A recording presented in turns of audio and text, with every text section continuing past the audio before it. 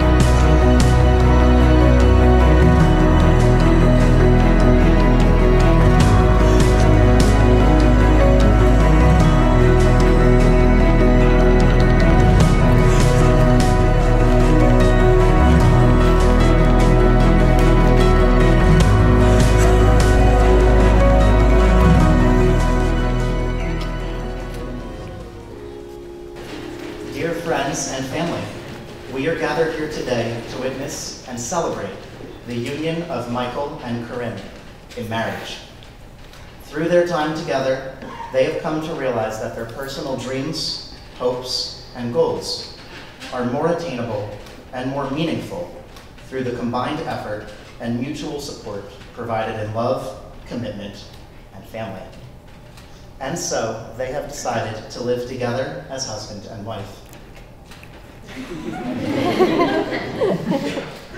Anyone who knows Corinne and Michael and their relationship with one another may have observed that they often like to let quotes from TV and film, as well as song lyrics, convey the sentiments they want to express. As such, in honor of this key element of their relationship, I will be sharing some excerpts from some of their favorite media with you today, as well as a few choice quotes and lyrics of my own that seem fitting to the occasion. Now, I will do my best to credit each selection, but the thing about quotes on the internet is you cannot confirm their validity. Abraham Lincoln said that. That's true. Man ahead of his time. With that said, we will now hear some readings that Michael and Corinne felt fitting to be shared with all of us today. Our first reading is from an adaptation of a Cherokee prayer and will be shared with us by the couple's friend, Katrina Wonderland.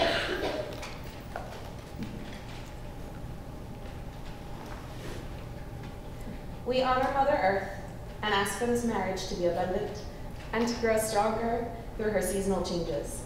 We honor fire and ask that this union be warm and glowing, always with love in the couple's hearts.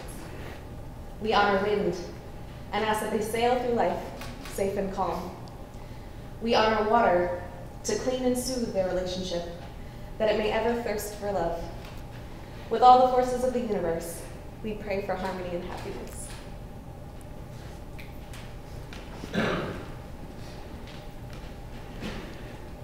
Our next reading is from Blessing of the Hands by Reverend Daniel L. Harris and will be shared with us by the couple's friend, Margie Blakars. I'm gonna switch that. I'm gonna swing around. The hold hands for it. Corinne and Michael, please hold hands. I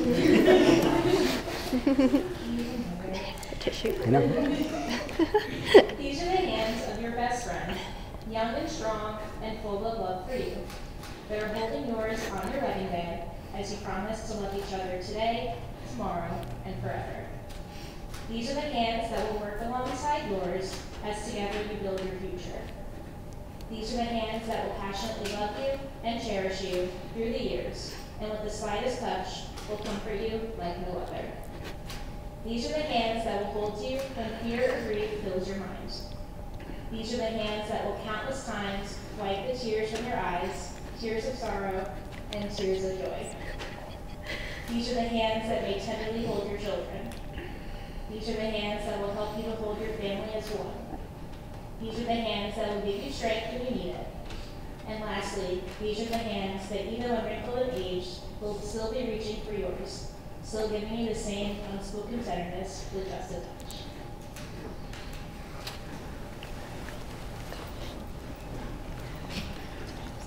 Corinne and Michael, when we first met to discuss your wedding ceremony, it was immediately made clear to me that in order to properly make this a day that feels like the two of you and your relationship, it would need to be seasoned with song lyrics and quotes from your favorite shows, just as so many of your conversations are.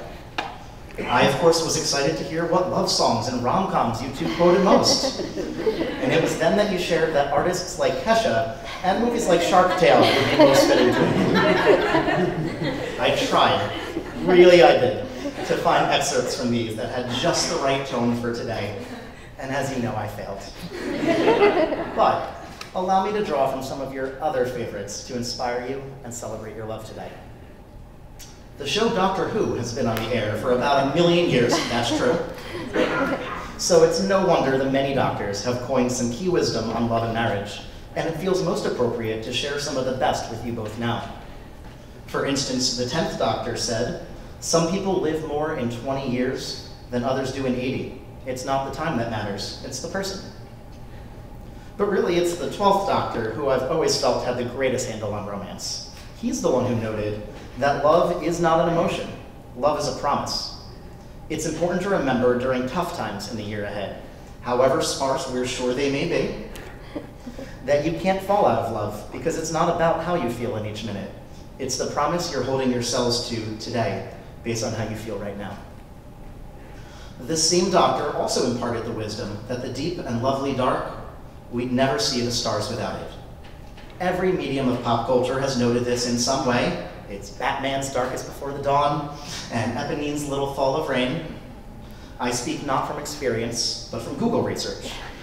When I remind you that marriage may not always be easy, but it will always be worth it. And of course, I'd be remiss not to share the doctor's wisest caveat of all. Can you just hurry up, please, or I'll hit you with my shoe? I'm sure there's some married life allegory to be made there, but I will spare everyone of that. I know one thing all three of us have in common is a love for Disney, and one of our favorites is Tangled. I like it because Mandy Moore attacks people with frying pans. Perhaps you two love it more because of the story's central theme of chasing your dreams. When in the movie Rapunzel worries that she'll have nothing left to fantasize about if life outside her tower turns out to be everything she dreamed of, Flynn Rider assures her that if it is, she gets to go find a new dream. Today, you two achieve a dream you've had for a long time, and when you discover it's every bit as wonderful as you know it will be, you get to go chase a new dream together. I suggest something involving a lake and some lanterns. That looks like a lot of fun. now, it would not be a wedding ceremony themed around song lyrics, especially for these two, without at least one from the hit Broadway show Hamilton. Those of you uh, who have seen the show know that Hamilton's relationships were not actually that perfect. So I tend to draw the most warmth from the lyrics he shares with his son. I'll do whatever it takes. I'll make a million mistakes. I'll make the world safe and sound for you. I wish for you a love and life that may not always be perfect, but is surely enveloped in a sense of duty and protection of one another when you're needed most. As for the warm, fuzzy stuff from The Great White Way, I wish for you also the kind of love that two of the characters had in a favorite of mine, a more obscure show titled Bare, where one character tells the other, Please take my hand. Let me help you understand. Two searching hearts can uh, rest and be made whole. I know it's love. You touch my soul. You know, it's really no wonder you two are perfect for each other, and even less of a wonder that song lyrics have been a staple of your romance. Mm-hmm. It was T Swift who realized that love and song lyrics go hand in hand in her 2012 song Red. Memorizing him was as easy as knowing all the words to her old favorite song. So I have to ask if seeing each other makes you hear music, and hearing music makes you think of each other, when do you guys ever get anything done? We don't. I want to tie up this little ode to song lyrics with one more wish for the two of you as a couple. And not just your, as not just your friend, but as your minister. May you have the kind of love that Safetysuit sings about in their wedding song, Never Stop. Never stop trying. Never stop watching as the other leaves. Never stop losing your breath every time you see them looking back at you. Never stop holding hands. Never stop opening the door. Never stop choosing each other. And never get used to one another. Now, Michael and Corinne also mentioned to me that they watch a lot of Food Network, but my sermon time is clearly already running long. So, in the words of Guy Fieri, peace, love, and taco grease. now, how about we exchange a ring or two?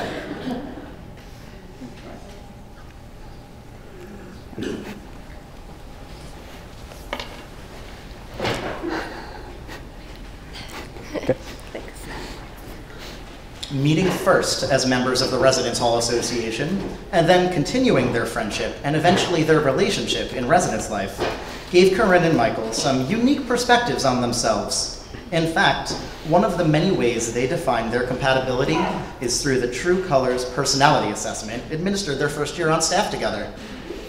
For those unfamiliar, of which I assume there are many, to be assessed, you complete a brief questionnaire and are then assigned a color or color pairing that defines your strengths, values, and needs as an individual. Corinne's and Michael's results are pretty interesting. Corinne first tested as a mix of blue and gold. Then, upon future assessment, she became purely just the gold. Now, a blue personality represents enthusiasm and empathy. It's a feeler personality. So, Michael, I hope those weren't traits you were looking forward to. I'm kidding, of course. Corinne is still a warm and affectionate person. She has just evolved further toward the gold personality, which represents loyalty and appreciation, as well as organization. Golds are planners, as you know firsthand. Corinne, as a fellow gold, you understand these components of Michael's character. But note he's also green, meaning he's logical and analytical. Your very own Mr. Spock. Can you do that? but today is not about your differences. It's your common ground that will unite you as a married couple. You both have gold personalities, meaning you're reliable and structured and find joy in accomplishing your tasks. In fact, if we listen really quietly right now, we can hear you both crossing off each part of the sermon in your head as I It's so fitting, therefore, that you will be exchanging gold rings today to remind you each day of your marriage that it is your commonalities that will unite you, and that together you can accomplish anything. Okay.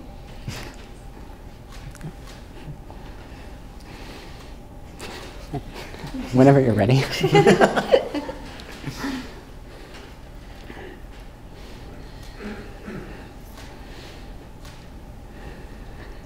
As you place these rings on one another's fingers, uh, remember that you are giving a representation of yourself and receiving the same in turn. Michael, please place the ring on Corinne's finger and repeat after me. I, Michael. I, Michael. Give you, Corinne. Give you, Corinne. This ring as I give to you all that I am. This ring as I give to you all that I am. And accept from you all that you are. And accept from you all that you are. Corinne, Please place the ring on Michael's finger and repeat after me. I, Corinne. I, Corinne. Give you, Michael. Give you, Michael. this ring as I give to you all that I am, this ring as I give to you all that I am, and accept from you all that you are. and accept from you all that you are. The ring has no beginning and no ending, which symbolizes that the love between you will never cease. You have placed these rings upon each other's fingers as a visible sign of the commitment you each are making to live the rest of your days as husband and wife. To further solidify and express the love and commitment that Corinne and Michael have promised to one another for the life they have ahead of them, they have chosen to perform a unity ceremony. In this ceremony, the couple has chosen to combine some symbols of their early life apart and bring them together to show each other and all of us how their life is one uh, from this day forward.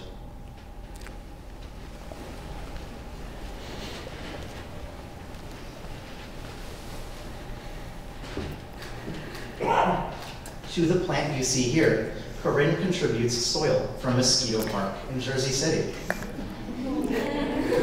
Corinne recalls fond memories as a little girl visiting that park to run in nice weather, sled in snowy weather, and roll around and enjoy the beauty of the park year round.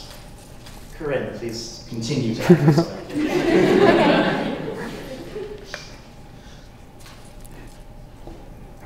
Now to the plants. Michael contributes soil from Knight Park, specifically the soccer field in Collingswood.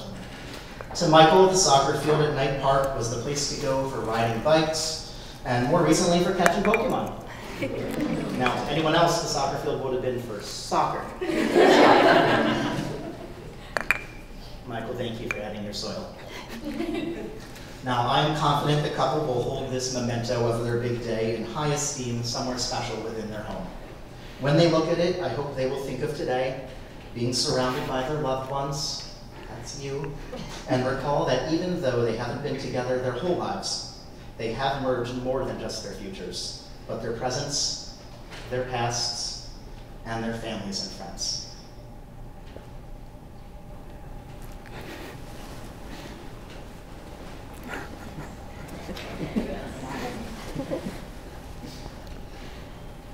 Now, anyone who has ever been to a wedding, or even just watched one on TV, knows a few elements of the ceremony are essential. There's the rings, we covered that. There's the long uninterrupted speech by the minister where everyone ponders the big questions like, where did she get her dress? And is an online ordination actually valid in a church? And I wonder if the minister's single. we covered all of that too, and to recap, that's her business. This isn't actually a church, and yes.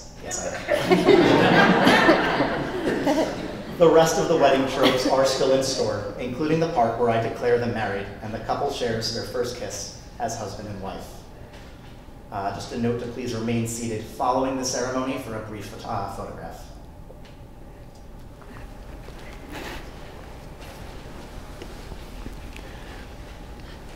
Do you, Michael, welcome Corinne as your wife offering her your love and encouragement, your trust and respect, as together you create your future. I do.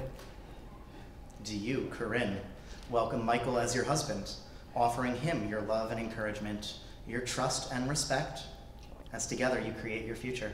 I do. Do you, Michael, agree to lend me $20 after the ceremony? I do. well, then, it is my greatest pleasure to declare you husband and wife. You may now kiss one another. Congratulations.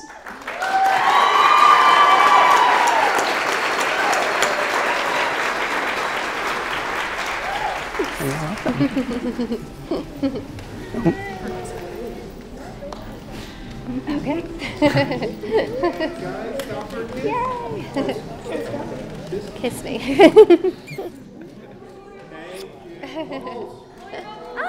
Excellent, guys. Thank you. Congratulations.